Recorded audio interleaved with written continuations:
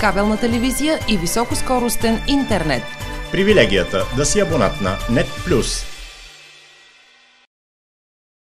Общинска избирателна комисия Петрич излезе с нощи с окончателните резултати от местните избори в неделя. Разликата между двамата кандидати, които отиват на балотаж за кмет на общината, Димитър Бръчков и Стоян Руйков, е 5074 гласа.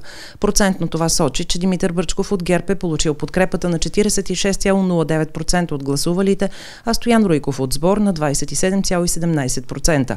Трети е Любчо Минев. Не подкрепям никого от кандидатите за общински кмет са гласували 832 избиратели. Приблизително приблизително толкова са и недействителните бюлетини.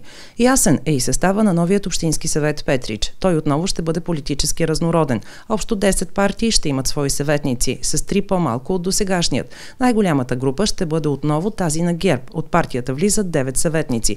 Втори са две политически сили – Сбор и ПП БНД. С трима съветници ще бъде Българска социал-демокрация Евролевица и Земеделски съюз Александър Стамбулийски. С по двама са Български глас, Политическо движение Напред България, ВМРО, Обединени земеделци и БДС Радикали. Наша проверка установи, че 19 са съветниците, които ще повторят мандат в местния парламент. Ето и поименият списък на новият Общински съвет Петрич. Нина Попова, Атанас Ячков, Траян Стоименов, Димитър Чолев, Светла Данаилова, Живко Захов, Костадин Чаров, Силвия Велчева, Янко Стоянов, Стоян Стоян Руйков, Борис Липошлиев, Славчо Илиев, Антония Паскалева, Венцислав Филчев, Радой Стоев, Димитър Пильков, Божидар Радевски, Благой Калъпсъзов, Живко Карадалиев, Георги Божанин, Валентин Парапунов, Владимир Стефанов, Росен Стоянов, Ангел Танев, Йордан Каракашев, Атанас Ямалиев, Станимир Златков, Велик Гогов, Георги Стоилков, Илия Пашов, Страхил Димитров, Никола Попов, Александър Костов.